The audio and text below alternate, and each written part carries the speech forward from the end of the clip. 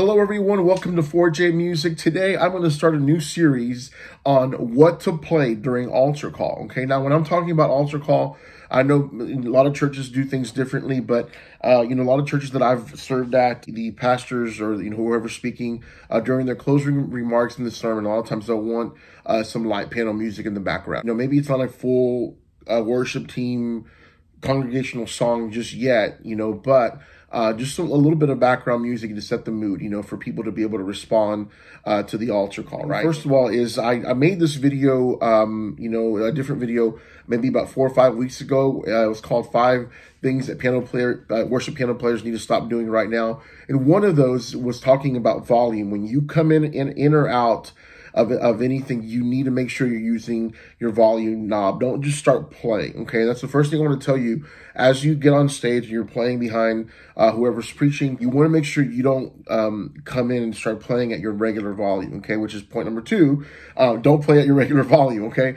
Uh, if you're playing, you know, your worship song and you have your, your regular volume, maybe maybe you're always at three o'clock, and that's where uh, your sound people and you have kind of agreed that that's where your, your levels need to be at, um, so they can regulate things from behind.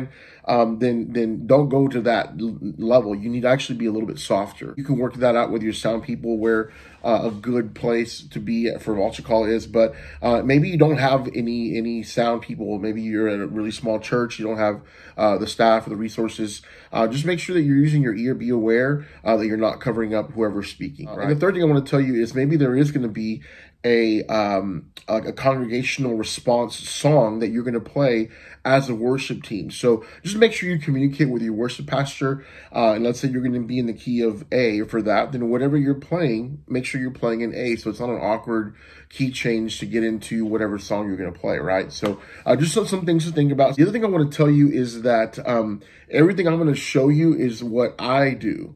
Um, and so you may find something more beneficial elsewhere, and that's completely fine.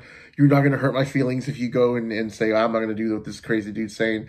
He doesn't even know what baseball is or what football is, right? So, um, anyway, what, what I want to challenge you to do, though, is to think uh, about uh, some of these relationships with some of the notes, okay? Because really that's how you make something sound interesting without it being super complex.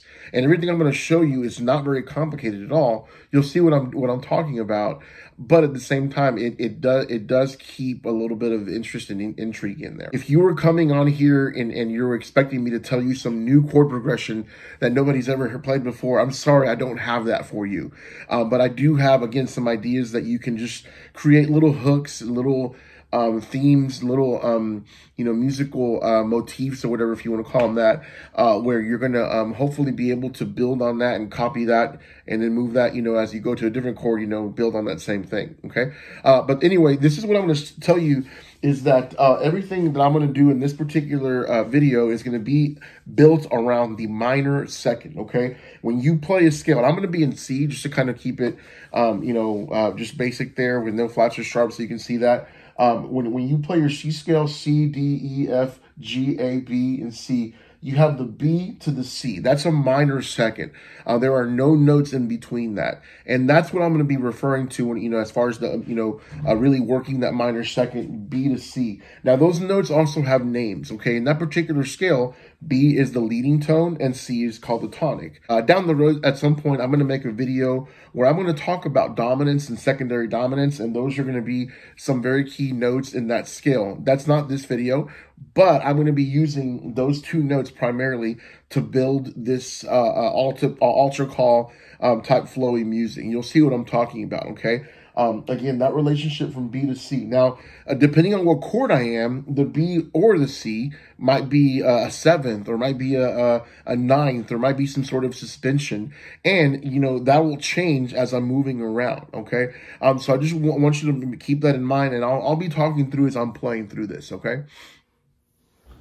Okay, let's assume we've already snuck in volume-wise. We're going to start in A minor on the sixth chord.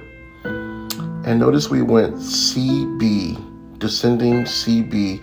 That's going to be a little motif that we're going to play around with as we toggle back and forth between the A minor and the F chord. So right there, instead of going to the B, we went to the A just to kind of add a little closure, something a little bit different on that last time before we would repeat the whole thing again. Again, just playing around with CB And all I'm doing underneath is really just rolling the chords, adding some seconds, ninths, uh, maybe some sevenths in there. But I want you to notice what I'm going to do here. We're going to go and go ahead and change the chord progression and go to a C over E, which is the relative major of A minor. Uh, and we're going to also change the notes uh, in the right hand. We're going to change the order um, and go B, C instead of C, B. And so that just adds a little bit of variety, even though we're using the same two notes, okay? Uh, before we go back and repeat the whole idea again, as we're doing here. Now, something I probably wouldn't do in um, on an altar call setting, depending on you know where we are at with the intensity, is do those octaves. Um, I'm doing those here just so you can see the the again the here really hear that CB in there, but um, depending on what's going on, I, I may or may not do that because uh, it might be too heavy for what's going on. And all the fills, stuff that I'm doing underneath, I'm consciously trying to set myself up to be seamless so I can repeat the either CB or BC motif. So just keep that in mind as you're working on your fills underneath. All right, and it really is that simple. Just uh, repeating those two notes and kind of moving the chords around that. What I want you to understand on that is that the ear is drawn to the familiar.